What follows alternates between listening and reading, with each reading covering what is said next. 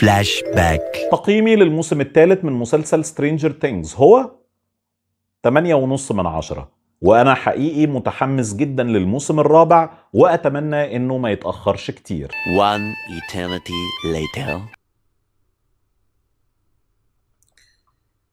ما لسه بدري.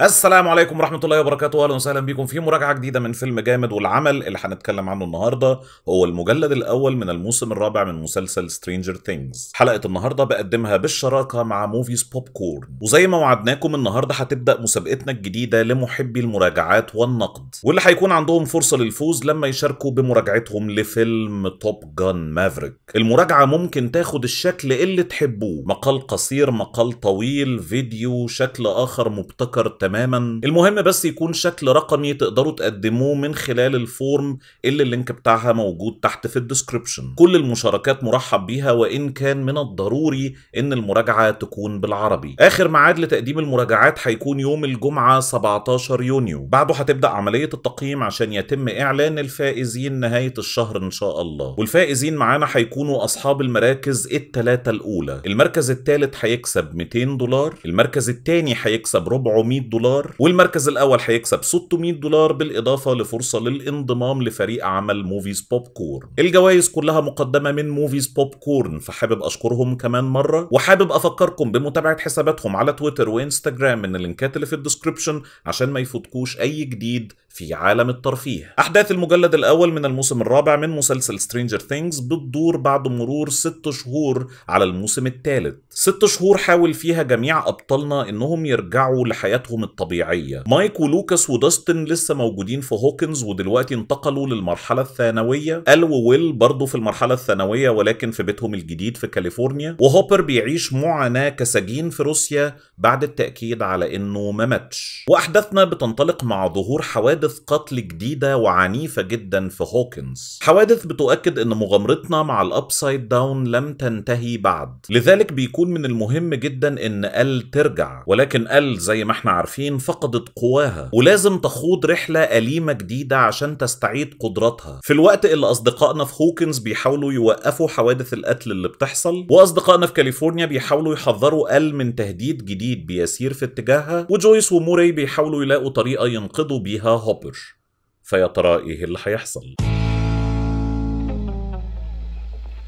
زي ما وضحنا في حلقة ال reaction اللي عملناها على trailer الموسم الرابع مسلسل Stranger Things بقى قدامه تحديات صعبة. ثلاث سنين تقريبا فاتت من ساعة الموسم الثالث فريق البطولة اللي كان مكون من أطفال في الأغلب دلوقتي كلهم كبروا وأحداثنا المعقدة إلى حد كبير والمتشعبة إلى حد كبير بدأت تخفت في ذاكرة المشاهدين. وكمان عندنا الاتهام الدائم بالحلب لأي مسلسل بيطول شوية. والصراحة أحداث الموسم الرابع ما بتساعد ساعدش قوي في الدفاع أمام الاتهام ده لأنها قائمة بشكل كبير على إعادة تحوير لأحداث حصلت في الماضي أو ما يسمى بال retroactive continuity ودي كانت من المشاكل اللي عندي مع المسلسل بشكل عام في المواسم السابقة. على الرغم من الجرأة الشديدة في المحتوى العنيف والمرعب ولكن المسلسل جبان جدا على مستوى التضحيات بشخصيات الصف الأول. لذلك ما بقتش مفاجأة لما أي شخصية من الماضي بترجع تاني وترجع معاها قصص جديدة. قصص كان ليها نسخ بالفعل اتحكت في المواسم السابقة. ودلوقتي بنحكي لها نسخ جديدة عشان نفتح أبواب لحواديت جديدة. مش عايز أقول إن دي بالضرورة مشكلة ولكن زي ما قلت مخاطرة. هل المكافآت اللي في انتظاري هتساعدني في إني أطنش على المخالفة دي؟ عشان المسلسل ينجح أمام التحديات دي استعان بشوية حاجات. عدد معقول من الشخصيات الجديدة وبشكل مؤثر. جرأة أكبر وأكبر على مستوى الرعب. إشباع مرضي لرغبة المشاهد في فك ألغاز المواسم السابقة. تقسيم خطوط الحبكة للتقليل من فرص الملل. والأهم من كل ده بقى التمعن الشديد في تفاصيل كل خط منهم. تمعن خلانا أمام زمن غير غير مسبوق لكل حلقة من حلقات الموسم. السبع حلقات اللي تم عرضهم من الموسم الرابع لحد دلوقتي كلهم زمانهم أزيد من ساعة. والحلقة السابعة زمانها ساعة و38 دقيقة. وأنا أصلا كنت بنادي بإن مفيش حلقة في أي مسلسل في الدنيا المفروض زمانها يزيد عن 25 دقيقة. دول جايين يفرسوني. بس بصراحة أنا أحب كده.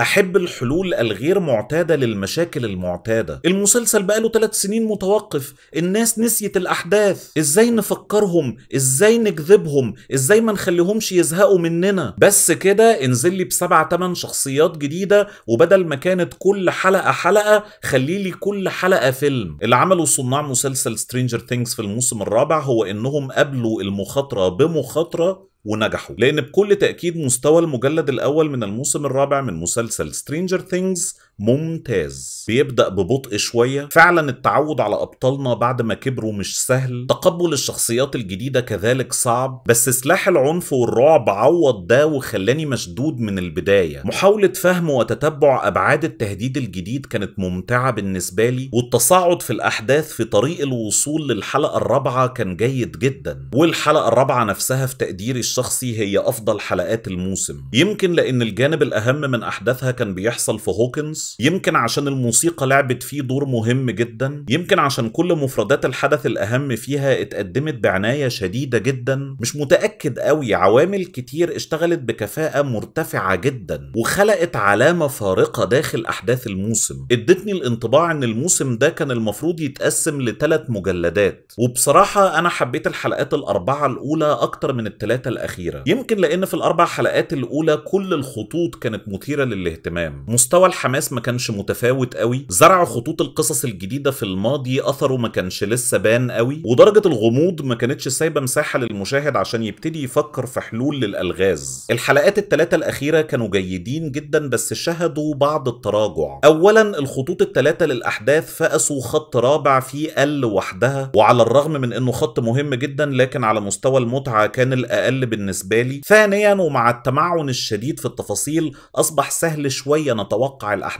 رايحة على فين؟ وثالثا الإثارة ما وصلتش بينا لأي حاجة تشبه اللي حصل في الحلقة الرابعة. الشيء الوحيد اللي جودته فضلت في خط متصاعد حتى نهاية المجلد الأول من الموسم الرابع هو خط الأحداث اللي كان بيدور في هوكنز. ممكن أتفلسف قوي في تحليل الأسباب اللي بتخليني أقول إن خط الأحداث في هوكنز هو الأفضل في المجلد الأول من الموسم الرابع ولكن السبب أبسط من كده بكتير. هوكنز هو المكان اللي فيه داستن الشخصية الأفضل في المسلسل على الإطلاق وواحد من أعظم الشخصيات التلفزيونية اللي ظهرت في آخر عشر سنين مثلا. ناس كتير كانت خايفة من إن أطفال المسلسل لما يكبروا دمهم هيتقل. مع الوضع في الاعتبار إن أل وويل دمهم كان تقيل على قلبي أصلا والصراحة المخاوف دي كانت في محلها. ويل لسه دمه تقيل ولكن الحمد لله يعتبر مش موجود قوي في الموسم ده لحد دلوقتي. ال ومع كل أسف دمها بقى أتقل وخط الأحداث اللي هي موجودة فيه ما ساعدش خالص. أول أربع حلقات قعدت تعيد وتزيد في نفس الكلام ونفس الانفعالات ونفس التعبيرات. وفي الحلقات الثلاثه اللي في الآخر طوروا شوية في الانفعالات والجمل والتعبيرات دي وبعدين قعدت تلف وتدور فيهم برضه لوكاس ومايك كذلك للأسف حضورهم في المواسم السابقة كان أفضل بكتير. لذلك أنا شايف إن على مستوى فريق الأطفال ده موسم داستن وماكس. على مستوى المثلث الغرامي التاريخي بتاعنا فستيف هو صاحب التألق الأكبر. جوناثان برضو يعتبر مش معانا في اللعبة قوي. ونانسي رغم إنها موجودة في خط الأحداث الأهم في الموسم لحد دلوقتي ولكنها الأقل توهجا. جويس بتجسيد وينونا رايدر في الموسم ده أفضل بكتير من الموسم اللي فات. وهوبر كذلك مع التحول الكبير في طبيعة شخصيته. الشخصيات الجديدة بقى كلها متميزة ولكن يأتي على رأسها في تقديري الشخصي إيدي صاحب لقطتي المفضلة من ال trailer لو تفتكروا. إيدي بيمثل واحدة من نقاط الانطلاق المهمة جدا في أحداث الموسم ومن أول ما بيظهر طبيعة تجسيده ملفتة جدا. لذلك فهو في تقديري الشخصي من أهم عوامل نجاح الموسم ده لحد دلوقتي. لسه مكونات التجربة السمعية من موسيقى وأغاني في أقصى درجات التألق. زي ما قلت التجربة السمعية هي أهم حاجة تقريبا في أفضل حلقة من حلقات الموسم. ورهان رهان الجرأة في التجربة البصرية كان رهان كسبان طبعا. الأحداث بشكل عام مظلمة أكتر. اللي شفناه في الحلقات الثلاثة الأخيرة وبالتحديد في خط هوكنز مثير جدا للإعجاب. يمكن بس اللعبة البصرية اللي اتعملت في مظهر شخصية ال ما دخلتش دماغي قوي. أنا كنت متصور إن هم هيستخدموا بعض الأدوات في تصغير السن وحاجات زي دي ولكن يبدو إن اللي عملوه كان معقد أكتر. بالاستعانة بممثلة تانية في مرحلة الطفولة وبعدين خلق نوع من أنواع المزج بصراحة لخبطني شوية. رغم كل المخاوف والمخاطرات والصعوبات المجلد الأول من الموسم الرابع من مسلسل Stranger Things جيد جدا. أكبر تحية عاوز أوجهها له هي تحية على الجرأة. جرأة في عوامل الصدمة للمشاهد جرأة في زمن الحلقات وجرأة في تقسيمة الموسم كذلك. تقديم سبع حلقات كمجلد أول وبعدين ترك شهر تقريبا ما بينها وما بين المجلد الثاني شيء مثير للتأمل. رهان كبير على الكلام اللي هينتشر على المجلد ده بعد عرضه. وإن خلال شهر محبين المسلسل كلهم هيرجعوا عشان يتابعوا المجلد التاني. والمجلد التاني ده في تفاصيله شغلانة يا جماعة. لأنه بيتكون من حلقتين بس. حلقة زمنها ساعة ونص والحلقة التانية زمنها ساعتين ونص. يعني فيلم سينما طويل جدا كمان. الكلام ده أنا قريته على بعض المصادر وأتمنى من كل قلبي إنه يكون صحيح. مش لأني بحب الحلقات الطويلة ولكن بحب التجارب المجنونة. ويمكن تقديري لكل ما هو مجنون يكون سر إعجابي بالموسم ده لحد دلوقتي. تقييمي للمجلد الأول من الموسم الرابع من مسلسل Stranger Things هو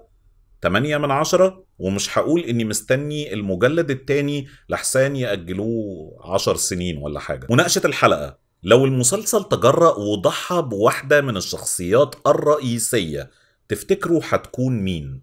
يا ريت تساهموا برأيكم في ال comments ألف شكر لحضراتكم على المشاهدة. يا ريت تعملوا share و like للحلقة لو عجبتكم. اشتركوا في القناة وشغلوا جرس التنبيهات عشان تجيلكم الحلقات أول بأول. تابعوني على فيسبوك وتويتر ونيمو وإنستجرام. وباي باي.